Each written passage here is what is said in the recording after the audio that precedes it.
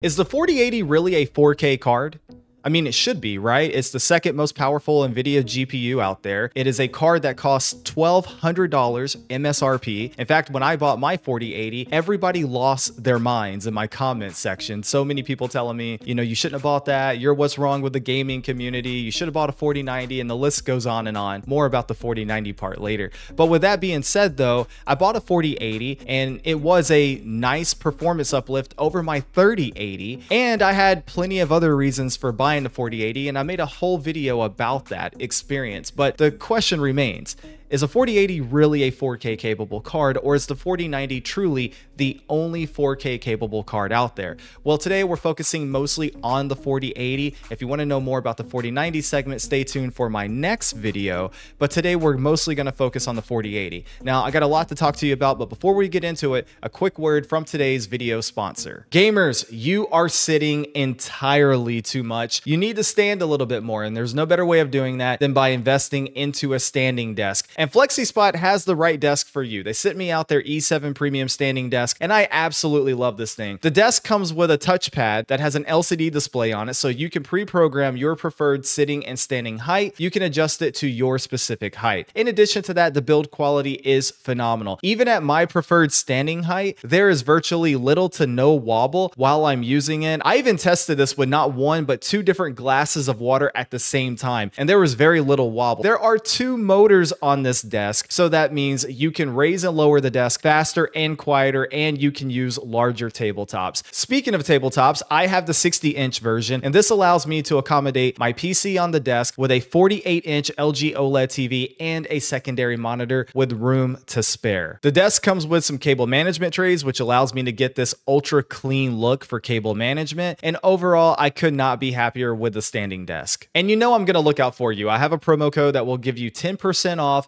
any orders over $500. So be sure to use my code at checkout. And if this desk isn't for you, they have other different kinds of models as well. So definitely be sure to check out their website. You might find something you like. I highly recommend purchasing a standing desk. And if you're going to purchase one, I can definitely vouch for FlexiSpot. So check them out. All right, so the 4080 released to the world back in November of 2022 for $1,200 MSRP. My 4080 is the Gigabyte Aero OC, and this card is absolutely phenomenal. It has a dual BIOS switch on it, and even in the OC mode, which is the default position, the card runs fairly quiet and the card definitely runs cold. I mean, I typically averaged around 62 to 63C, even at native 4K gaming. During the summer, sometimes I would see around 64C. The worst ever was about 65. The card runs cold, the card runs quiet, it's big, it's beautiful, and it went great with my all white PC aesthetic. Honestly, I was very happy with my purchase, but that is not the point of today's video. The point is, can the card do 4K gaming? Really? Now, the main reason why I'm making this video is simply because I've seen the narrative online that the 4090 is the only true 4K capable card on the market. At $1,200 in 2023, the 4080 better be a 4K capable card. And so if it's not,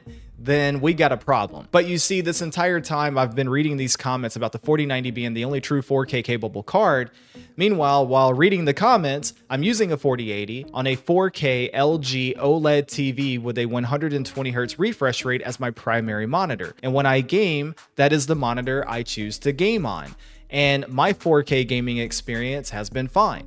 But then it has occurred to me, what are your standards for 4K gaming? You see, for me, I'm fine personally with 4K 100 ish FPS. I really am. After about 90, 95 FPS, I get into the territory of diminishing returns on frame rate for me personally. We're all a little bit different here, but for me, that's that's about my marker. And then most people are just looking for a rock solid 60 frames per second. If they can get that, they're totally happy.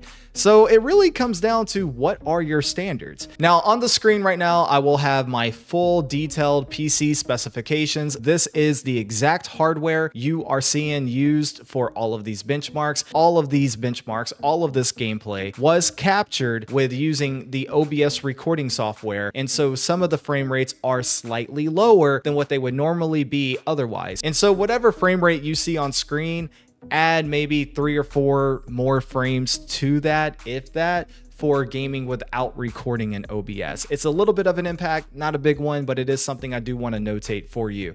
Now, without any further ado, let's get into the benchmarks. Kicking things off with Assassin's Creed Valhalla native 4K, max settings, no upscaling of any kind. As the benchmark progresses, the frame rate does increase. I think by the end of this benchmark, we round out around 94 FPS on average. And to be honest, the Assassin's Creed franchise is typically pretty demanding to run anyway. So, and to average in the 90s with native 4K with no upscaling support, that's actually really good. But on the other hand, you may think, well, hey, why is it not more for such an expensive GPU? And at the same time, with a single player story driven game, I don't see the frame rate here being a problem. And if you look at the power usage here, we're not even breaking 280 watts hardly at all. And the overall temperature is not even hitting 60 C. Again, this card runs cool, it runs quiet, and it is powerful. Next up, we have God of War 2018 native 4K Ultra Plus preset, and of course, no upscaling of any kind. And as you can see, our frame rate is right there around 100 FPS with everything maxed out. Our power usage is actually significantly higher when compared to Assassin's Creed Valhalla, and our temperatures have increased because of that. Instead of being below 60C, we're now hovering around 63 to 64C. By no means at all are these numbers considered bad, and I have thoroughly enjoyed playing God of War 2018 on my PC. However, I will admit with the game being so old at this point, I was expecting a little bit more here on the frame rate, but again, these numbers are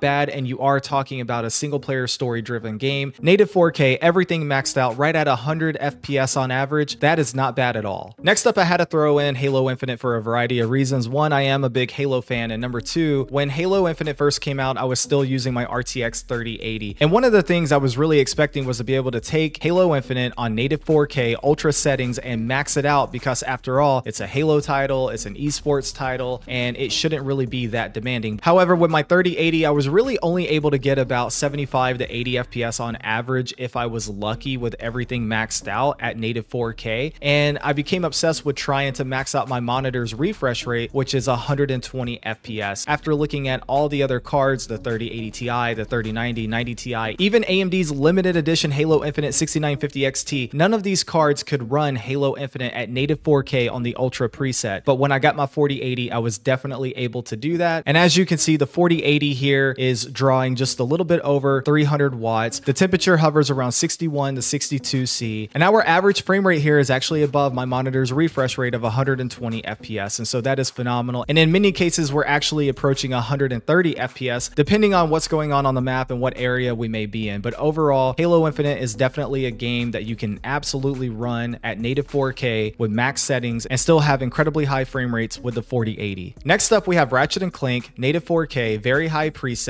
Texture filtering is set to 16 times. Ray trace reflections are set to on and they are set to high. And as you can see, we're averaging about 67 FPS and we are dipping below that, unfortunately. Ray tracing, even in 2023, even on the RTX 4080, is still incredibly demanding. And this isn't even all of the ray tracing options available. This is only reflections and it's not even maxing out the reflections. And as you can see, we're only hovering between 60 and 70 FPS. This is definitely playable. The game looks phenomenal. You can absolutely enjoy this. And if you absolutely hate upscaling, I think this does show the capabilities of the 4080 quite well. You can look at the temperatures up there and see that we're barely even breaking 60C, which is absolutely phenomenal. We're not even hitting 300 watts on the power usage. So all of these things are great. But again, when you go back to that price tag and you realize, wow, a brand new game 2023 on a card that's not officially a year old that costs $1,200, I would expect a little bit more than this. But at the end of the day, what are your expectations for 4K gaming? If it's 4K 60, then these settings definitely accommodate you. But now we're going to keep all the settings the same, and instead we will simply enable DLSS quality mode and turn on frame generation. And so this means it is rendering natively at 1440p and upscaling the image to target 4K resolution. And as you can see, the temperature has not really changed, the power usage has not really changed, but that frame rate has absolutely increased. We went from struggling to even hit 70 FPS on average to now averaging 125 FPS. And no, again, this is not all the settings in terms of ray tracing available, but the fact is this game with these settings right here looks absolutely incredible. And now you're able to get over 100 FPS on average by simply using DLSS and frame generation. And frame generation is a feature that you can only find on the 40 series cards. And now the last game we're going to take a look at is Spider Spider-Man Remastered. Native 4K, very high settings, 16x on texture filtering, ray tracing reflections are set to very high, and geometry detail is also set to high. And this is all native, keep that in mind. And as you can see, our average frame rate is 86 FPS. Our temperatures are barely hitting 60C. Most of the time we're at 58, 59C. Our power usage is only a little bit over 250 watts. Spider-Man Remastered is one of those games that is demanding while being incredibly optimized. It looks incredible. It is a lot of fun. And the 4080 can definitely give you a great experience with native settings while using ray tracing. That is one of the more impressive showings for the 4080 in my opinion. And now finally I decided to have a little bit of fun with all of the testing. And so I maxed out everything and I mean everything. I cranked up the ray tracing to its maximum detail. I maxed out every setting I could. And with DLSS quality plus frame generation, rendering at native 1440p, upscaling to target 4K resolution, we're averaging about 120 frames per second. And again, frame generation is one of those things you can only find on the 40 series cards. And it's not perfect, but as a whole, all of these technologies work incredibly well together. And it definitely gives you an excellent gaming experience. You know, this is like the 15th time I've tried recording this conclusion and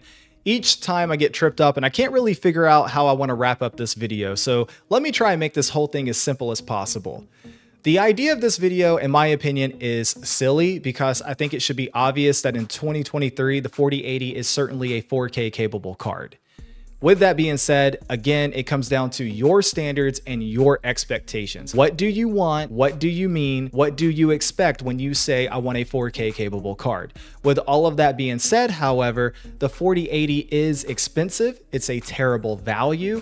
And whether if you have a 4080, a 4070, a 4090, it doesn't matter. All GPUs over time will eventually get knocked down a peg or two. They just will. There will come a day when the 4080 won't be a 4K card and it will be a 1440 1440p high refresh rate card. In fact, you can already buy it for 1440p, and I promise you, you will be blown away by the performance at 1440p. It rivals a 4090 at 1440p. It really does. It doesn't beat it, but it gets really close to matching it. And so, with that being said, the 4080 is a great GPU in terms of just capabilities and features, but it is expensive. It's a terrible value. Now, speaking of price and all of that, recently the 4080 has fallen in price a little bit. Newegg has had the MSI Ventus for 999. I did a full review on that GPU. I'll have a card pop up now if you want to check it out. But in addition to that, if you go over to eBay, you can look at items sold and you can see that the 4080s have been selling on a regular basis for about $900. Now, $900 is definitely a lot of money to spend on a graphics card,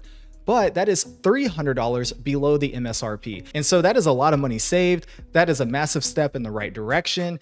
And if you want a 4080, I would definitely recommend checking that out before buying new. I really would. Now, with all that being said, it really comes down to you to make the decision. I'm not here to tell you to go buy or not to buy a GPU. I really don't think anybody should look for a content creator to tell them what to do with their money. I give you the information, you make the decision. It's that simple. So let me know in the comment section below what you're thinking about a 4080 in 2023, almost a year after its original release. Now, with all that being said, I do have a 4090 video just like this coming up next. So get subscribed if you want to see that type of content. A massive shout out to all of my Patreon members. Thank you guys for the continued support. You are totally awesome. I really appreciate you. And if you want to join the Patreon team and get exclusive behind the scenes access, click the link in the pinned comment below. And that's all I got for this video. And until next time, E-Rock out.